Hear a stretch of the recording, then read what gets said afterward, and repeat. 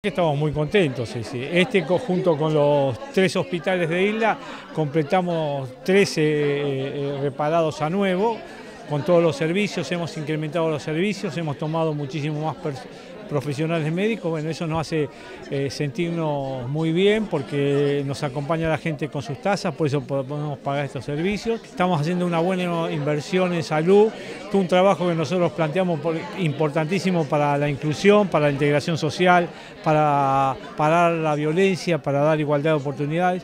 Y bueno, todos estos servicios que estamos haciendo, yo siempre debo agradecer al personal municipal. Sí, está cumpliendo con todo, con todas las cosas en el barrio con la seguridad, con las luces, con las cámaras, con este centro. Es una, una belleza, es una cosa que la gente necesita. Y bueno, creo que es muy lindo, es hermoso y ojalá que la disfruten. Acá se ven obras, acá se hicieron cualquier cantidad de obras. Ningún intendente puede hacer lo que hizo este muchacho, este señor. Muy lindo y lo más importante es que hay muchas especialidades que antes a lo mejor no había, tenías que ir al hospital.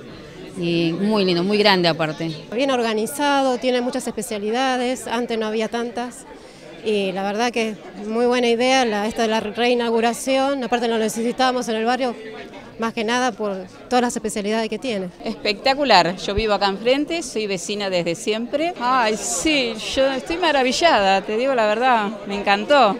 Me encantó. Andriotti lo está consiguiendo, te digo. Y hermoso, la verdad, con el consultorio ya eh, no le falta nada. Y todos los días paso por acá y pregunto cómo va la obra. Todos los días trabajo acá a la vuelta. Y ya le dije, tengo que tomarme la presión, pues pasa todos los días. Realmente ya desde el año 60 había mucha gente acá que disfrutaba la plaza, que después hubo que hacer de nuevo, disfrutaba el centro de salud, así que creo que tiene muchos años y nosotros, bueno, así como atendimos este barrio, atendemos todo San Fernando. Hace un gran esfuerzo para que nosotros podamos mejorar la calidad de vida todos los días un granito de arena del pueblo de San Fernando.